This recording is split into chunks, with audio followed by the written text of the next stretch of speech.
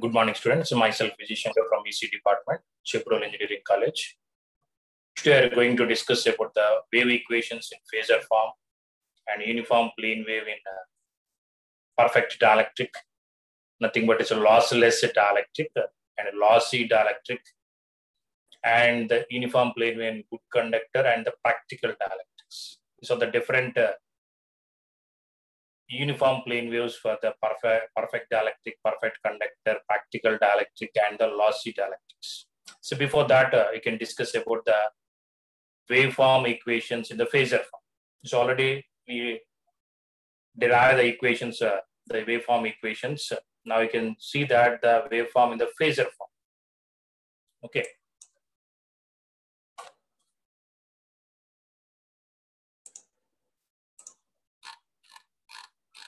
The wave equations uh, in phasor form. An electromagnetic wave in a medium can be completely defined if intrinsic impedance beta and propagation constant gamma of a medium is known.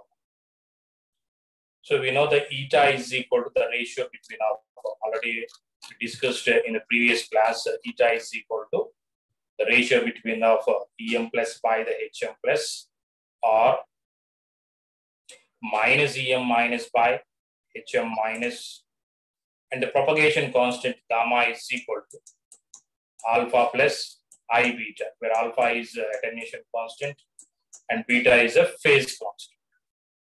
The same propagation constant we use uh, in the transmission line that is represented as a p. Here in the waveform equations or the wave equations uh, the gamma is represented as a propagation constant. Okay, my so don't confuse here. Thus, it is the necessary to derive the expressions for eta, gamma in terms of its of the properties of the medium, mu, epsilon, and the conductivity. Already we know the intrinsic impedance eta is equal to the ratio between of uh, em plus by the hm plus is equal to minus em minus uh, the coefficients of the equation. Hm minus that is equal to under root of uh, mu by epsilon. We got this equation mu by epsilon. Or the mu naught by the epsilon naught. Because we derive the wave equations in the free space epsilon r is equal to 1 and the mu r is also is equal to 1. The 377 ohm the impedance in terms of the ohms only 120 pi it is also equal to the 377 ohms. Okay. Now we can derive the eta and the gamma in terms of its properties of a medium, such as uh, permeability mu, permittivity epsilon, and the conductivity sigma, etc. The gamma is equal to alpha plus i beta. Okay. To derive these two expressions in terms of the constant values, uh, consider a Maxwell's equation derived from the Faraday's law, the del cross E bar is equal to minus dou B bar by 2 derived from the Faraday's law is one of the Maxwell's equation del cross C bar is equal to minus dou B bar by dou T. B bar is equal to the relation between of B and the H is a mu into H bar. So minus uh, mu into dou H bar by dou T. Taking the curl on both sides, uh, taking the curl function on both sides, del cross del cross E bar is equal to minus mu into del cross dou h bar by dou t. The mu is the constant. So applying the del cross h bar, then it becomes of a del cross del cross e bar is equal to mu minus mu into del cross uh, dou h bar by dou t we can written as a dou by dou t of dou by dou t of del cross h bar. Okay, students. In the left hand side, del cross del cross E bar is equal to upon the one of the property of uh, curl function del dot del dot E bar minus uh, del square E bar is equal to. Okay, del cross del cross E bar is nothing but del dot of del dot E bar minus uh, del square E bar is equal to minus mu into dou by dou t of dou by dou t of del cross H bar. Okay, the one of the Maxwell's equation derived from the Ampere circuit law del cross H bar is equal to del cross H bar is equal to sigma into E bar. So before that, uh, you have to know that is a JC bar plus JD bar. That is nothing but the J one. J bar is equal to del cross H bar is equal to J bar. Ampere circuit law saying and modified Ampere circuit law del cross H bar is equal to conduction current density plus displacement current density JD bar. JC is equal to sigma into E bar and JD bar is a dou by dou T of dou by dou T of T bar. If it is in terms of the E bar only, sigma into E bar plus the relation we know D bar is equal to epsilon into E bar. Epsilon into E bar. The relation between of the electric flux and the electric field. So dou by dou T of D bar you can replace as epsilon into E bar is equal to sigma into E bar plus epsilon is a constant you write the outside epsilon into dou by dou T of E bar. Okay. This is for the del cross H bar from the amperes, modified ampere circuit like the Maxwell's equation. Substitute the del cross E bar as this equation, the sigma into E bar plus epsilon into dou by dou T of dou by dou T of E bar. Okay. Now in the left hand side, del dot E bar is equal to zero del dot E bar is equal to zero, it becomes of zero minus del square E bar. Del square E bar is equal to minus mu into is a dou by dou t. See the dou by dou t. I told that uh, replace in the one of the Maxwell's equation the harmonically time varying fields uh, dou by dou t is equal to 0 omega. Dou by dou t is equal to j omega. How we got this uh, d bar is equal to d naught into e power j omega. Okay, e power j omega t. Let us take. Or e bar is equal to d e naught into e power j omega t. Now you can apply the dou with respect to the dou by dou t of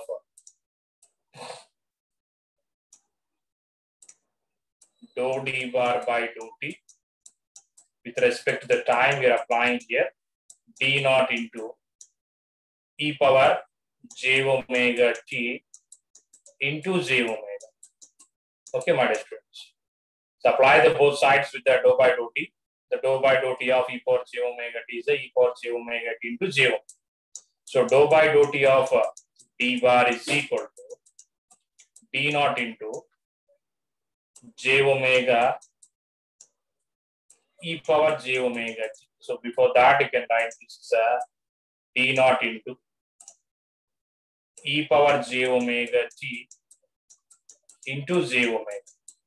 Got it, madam? What is a d bar? d naught into e power j omega t, nothing but the d bar. So dou by dou t of uh, d bar is equal to this function is already the d bar, d bar into j omega. So see the in left hand side and the right hand side, the d bar is there. And what is the dou by dou t? Nothing but j omega. So wherever the dou by dou t is there, you can replace with the j omega. So we already applied in that uh, the fourth table of the Maxwell's equations uh, dou by dou t is equal to j omega harmonically time varying fields. Okay. So now wherever the dou, dou by dou t is there, replace that as a j omega here into sigma into E bar plus epsilon into, here also dou by dou t is there, replace that is a j omega into E bar. Got it, my students?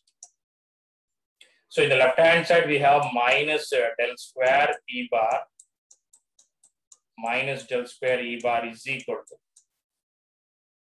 Here the function is there, multiply with uh, minus uh, so here the minus and here also the minus is there. Get it is a plus. Both sides there is a minus. Multiply with the mu into j omega inside the mu j omega into sigma e bar plus and here the mu j omega j square is there. Okay, j square mu into j omega whole square. Epsilon is also there. Epsilon into mu j omega whole square into e bar. Got it, my students? Okay, is a after the simplifying we got this equation.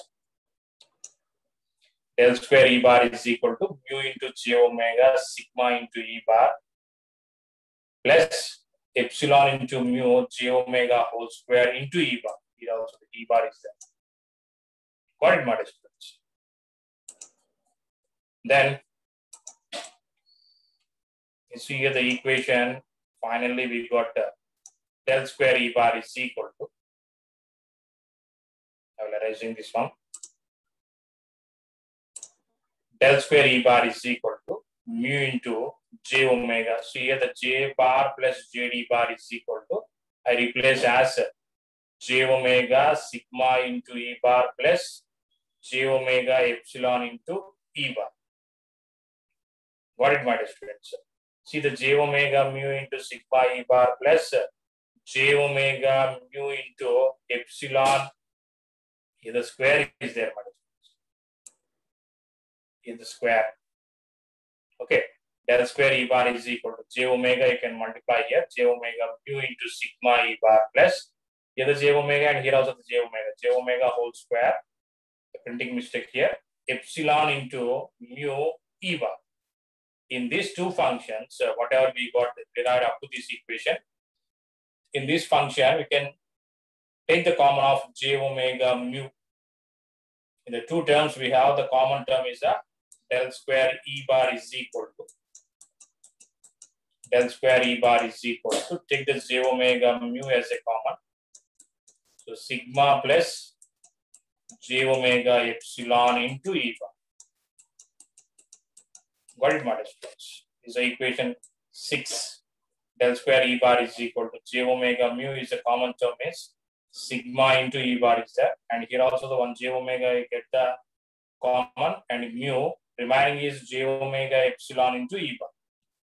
Okay, my students. And this function we can call it as a del square e bar is equal to gamma square into e bar. Del square e bar is equal to this total function we can write as a gamma square into e bar. And what is a gamma here? The phase propagation constant. Gamma square is equal j omega mu into sigma plus j omega epsilon and gamma is equal to under root of j omega mu sigma plus j omega epsilon. The propagation constant. Okay, my students.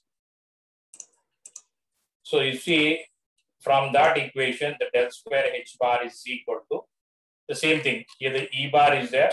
Del square e bar is equal to j omega mu into sigma plus j omega epsilon into e bar.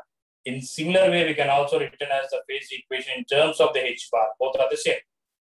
Del square h bar is equal to j omega mu into sigma plus j omega epsilon h bar. The term inside the bracket in the equation 6 and the 7. 6 is in the electric field. Okay. That is a del square E bar is equal to, we got that. Del square E bar is equal to the same function multiplication. J omega mu into sigma plus J omega epsilon whole multiplied with E bar. Okay. Similarly, we can write the another phase equation in terms of H bar. The term inside the bracket in equation 6 and the equation 7, is equation 6, are exactly similar and represent the properties of medium in which the wave is propagating. The wave is propagating. The total term is the square of the propagation constant gamma. Square of the propagation gamma square. Gamma square is equal to the whatever there is in the parenthesis in the gamma square is equal to within the parenthesis uh, for the two equations, the six and the seven. Okay. The total bracket in the square of the propagation constant gamma is equal to j omega mu into sigma plus j omega epsilon. And gamma is equal to, see the gamma is equal to under root of j omega mu into sigma plus j omega epsilon. What is the gamma here? The propagation constant gamma is expressed in terms of the properties of the medium.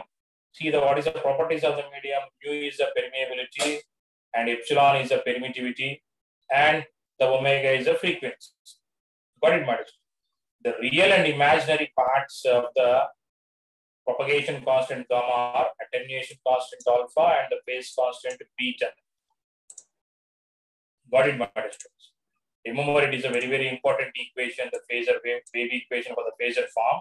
That is gamma is equal to under root of under root of uh, j omega mu sigma plus j omega epsilon. Got it, my students? Under root of uh, j omega mu sigma plus j omega epsilon. So in this, uh, the alpha is equal to alpha is equal to this equation, the beta is equal to this equation. So alpha is nothing but an attenuation constant, my students. When we can say it is a lossy dielectric, uh, lossy dielectric and the lossless dielectric means lossless dielectric, uh, lossless dielectric means alpha is equal to zero you already know in the transmission line equation, when attenuation constant is a zero, then we can call it as a distortionless transmission. Here, lossless dielectric, the waveform equation, uniform plane wave in a lossless dielectric means alpha is equal to zero. It is alpha is equal to zero means uh, we know the JC bar by the JD bar the magnitude of JC bar by the JD bar is equal to sigma by the omega epsilon. There is a two conditions we have. Less than one is a perfect dielectric. Perfect dielectric. Dielectric. And sigma by the omega epsilon is very much greater than one. Is a perfect conductor perfect conductor. Okay, my students. So when it is alpha is equal to zero, nothing but this attenuation is a zero. If there is no attenuation, there is no any loss in the transmission. In the propagation constant gamma is equal to when the alpha is equal to zero. So sigma by the omega epsilon. When it is a lossless sigma by the omega epsilon, the value is very much less than the one. It say take the, this condition.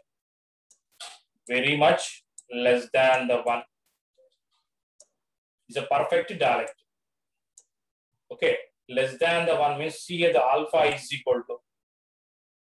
Listen carefully, my dear students. The alpha is equal to the equation we got here from gamma is equal to alpha plus i beta. Alpha is a real part and the beta is an imaginary coefficient.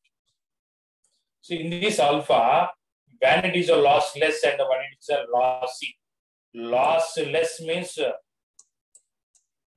lossless is alpha is equal to zero. I mean that it is a sigma by the omega epsilon is very much less than the one. So here the one is there. When compared to the one, the sigma by the omega epsilon is very, very less. So in this under root of one plus sigma by the omega epsilon is very much less than the one means the square is also the very much less than. So it is a zero neglecting the term, simply saying not the zero, neglecting the term. So under root of 1 is 1 only. And here the 1 minus 1. 1 minus 1. In this under root, uh, sigma by the omega epsilon is uh, very much less than means uh, compared to this 1, we are neglecting this term. Under root of 1 is 1, 1, 1 minus 1 is equal to 0. Alpha is equal to 0. So it is a lossless dielectric. Okay, perfect dielectric means it is a lossless dielectric. Got it, my students. Now, what is a beta now? We already know the beta is equal to omega root LC in the transmission line. Alpha is equal to zero. It's a lossless transmission line or distortionless transmission line. What is a beta? Beta is equal to, we got omega under root of LC. There is a constant is L and the C, where L is the inductance and the C is a capacitance, my dear students. This is for the transmission lines and the distortionless transmission. Now in this uh, propagation constant, uh, the wave propagation, what is a beta value? Similarly, here also observe 1 plus gamma by the omega epsilon. The value, of the one is uh, very much less than the 1 means we are neglecting the term under root of 1 is 1. 1 plus 1 is there here. 1 plus 1, nothing but the 2. So beta is equal to, oh, we got omega under root of mu epsilon by 2 and again is whole multiplied with whole multiplied with under root of 1 plus this term is neglecting the under root of 1 is 1 and plus 1. Previously is under root of 1 is 1 and the 1 minus 1 we got as a 1 minus 1 is a 0. So the alpha I got the 0. Now what is a beta? 1 plus 1 is a 2. 2 by 2 is get cancelled. So beta is equal to omega under root of uh, mu epsilon. So in the in the transmission line, distortionless transmission means omega, the frequency under root of uh, the parameters we have, the constant parameters L and C. What is the constants here? Permeability and the permittivity, mu and the epsilon. Omega is uh, omega under root of mu epsilon. What it matters students? Okay. When it is a lossless transmission.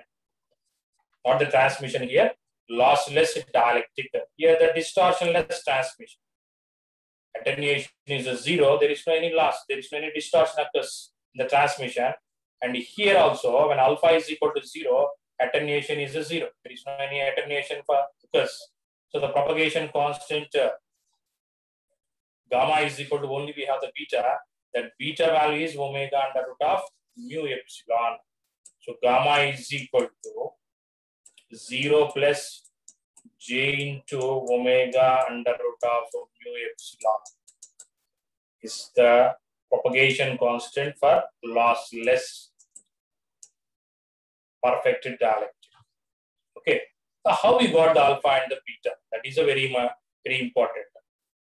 How we got that equation omega under root of mu epsilon by 2 and whole multiplied with under root of 1 plus the sigma by the omega epsilon whole square minus 1. We already derived that alpha and beta in the transmission line also, my friends. But in the transmission line, we don't have any epsilon and the mu and the sigma. There is no any conductivity, dielectric and uh,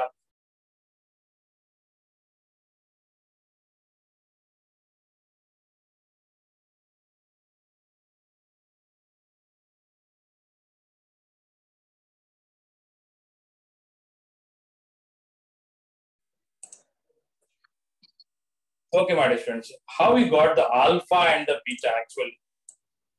How we got this equation? we already find that what is a lossless means alpha is equal to zero. and uh, beta is equal to omega under root of mu epsilon. That gamma is equal to 0 plus omega under root of mu epsilon. Okay, this is for the lossless dielectric. Lossless dielectric is a uniform plane wave. The propagation constant having the alpha is equal to 0, nothing but attenuation constant. And the phase constant beta is equal to, in terms of the parameters of mu and epsilon. And how we got the alpha and beta? The real term and the imaginary term, the derivation part, we already seen the alpha is equal to beta is equal to the transmission. That is a different. Okay. That is in terms of the L, uh, the parameters, what we have, the R, L, and the G and the C. But here there is no any R, L, G, and the C. That is a different uh, propagation constant, uh, alpha attenuation constant, and the beta phase constant. But now here the alpha is in terms of the one of the parameters, the dielectric constant, uh, and uh, permeability, permittivity. So taking that square on both sides if you get the alpha and the beta, alpha plus i beta is equal to alpha plus i beta is uh, whole square is equal to j omega mu sigma plus j omega epsilon. Okay. So alpha is alpha is alpha square, i square is a minus beta square plus 2i alpha into beta is equal to j omega mu into sigma plus and here the multiplication j omega square j omega square into mu epsilon. So what is the real term in the left hand side? Alpha square minus beta square alpha square minus beta square is equal to, and here j square is a minus. Okay, here the j omega mu into sigma is for the alpha beta. 2 into alpha beta is equal. The imaginary coefficient is a 2 alpha beta is equal to. We got as uh, omega mu sigma. The coefficient of imaginary is omega mu sigma and here the j square is a minus omega square, omega square mu epsilon. Got it, Madish? The real term is alpha square minus beta square is equal to omega square mu epsilon and alpha and beta is equal to omega mu sigma. From this, we can derive the alpha and the beta values. Okay, my. From these functions, alpha square minus beta square is convert the beta as what is the beta here? The 2 alpha beta is equal to, means uh, 2 alpha and the beta is equal to omega mu sigma is there and beta is equal to omega mu sigma by the 2 alpha. Substitute the beta here, alpha square minus beta square. What is the beta square? Omega square, mu square, sigma square by 2 alpha, nothing but that 4 alpha square is equal to minus omega square mu epsilon. Now we have this equation having only the alpha square on. Got it, my students? So alpha square, simplify this equation to get the alpha. To get the beta, alpha is equal to omega mu sigma by 2 beta. Substitute here the alpha is equal to alpha in terms of alpha is omega square, mu square, sigma square by 4, beta square minus beta square is equal to minus omega square mu epsilon. To simplify this equation, you get the beta. Okay, my dear students. Like that, we got the alpha and the beta function. Okay, taking that, the squaring on both sides, and the imaginary coefficient you can compare and the real coefficient comparing. Substitute the alpha and the beta in alpha square minus beta square. We'll get alpha is equal to this equation, the beta is equal to this equation. And this comparison, sigma by the omega epsilon, when less than the one, it's a perfect dielectric. Greater than the one is a good conductor or perfect conductor. Got it, modest. So now the intrinsic impedance. We got the alpha and the beta, nothing but the combination of uh, attenuation, the phase is the phase uh, propagation constant gamma. The intrinsic impedance of a medium can be expressed in terms of the properties of uh, a medium and is given by what is the eta here? Eta is equal to the coefficient what we have here, the alpha gamma is equal to j omega by this one. So j omega mu by sigma plus j omega epsilon. Whether it is a right or wrong, we can see the eta is equal to, we know eta is equal to under root of mu by epsilon. Okay, mu by epsilon. See when it is a perfect direct. In comparison, the sigma plus j omega epsilon, sigma by the omega epsilon is very much less than the one, where sigma is very much less than the omega epsilon. In comparing the denominator here, sigma term is comparing the omega epsilon is very, very less value. So neglecting this term, eta is equal to j omega mu is under root minus by we are neglecting this term, we have only the denominator is j omega epsilon. j omega, j omega get cancelled. And then the eta is equal to under root of mu by epsilon. So we got this one. Okay. So the intrinsic impedance of a medium can be expressed in terms of the properties of the medium is given by eta is equal to j omega mu and the denominator is sigma plus j omega epsilon. Got it, my students? And it's a perfect dielectric. The sigma by the omega epsilon, the sigma by omega epsilon is very, very much less than the one. Neglecting this term, under root is a one, and the eta is equal to under root of mu by epsilon. Got it, my students? And now, the next one is uh, uniform plane wave in the perfect dielectric. Uniform plane wave in the perfect dielectric. I also told, told that uh, in a medium through which the uniform plane wave is propagating in a perfect dielectric, it is a lossless dielectric, which is also called as a lossless dielectric. Got it, my friends? Then the conductivity is a zero. Means the sigma by the omega epsilon is very much less than the one means. Dielectric is a high compared to the conductivity. Conductivity is a zero here. So sigma is equal to zero. Substitute the sigma is a zero here. The gamma is equal to plus or minus j omega under root of mu epsilon. What is alpha here? It is only the j coefficient of uh, imaginary. Alpha is equal to zero. Gamma is equal to alpha plus j beta plus or minus j omega under root of omega mu epsilon. In the equation one, it is clear that propagation constant is purely imaginary, it indicates uh, in a perfect dielectric medium, attenuation constant is a zero, and the value of beta which propagates the wave in a positive z direction, alpha is equal to zero, beta is equal to omega mu epsilon. Similarly, the intrinsic impedance in the perfect dielectric medium, eta is equal to sigma is a zero means under root of mu by epsilon is a perfect dielectric. Okay, and then thus the intrinsic impedance eta is a real resistive. That means the phase angle of intrinsic impedance is zero.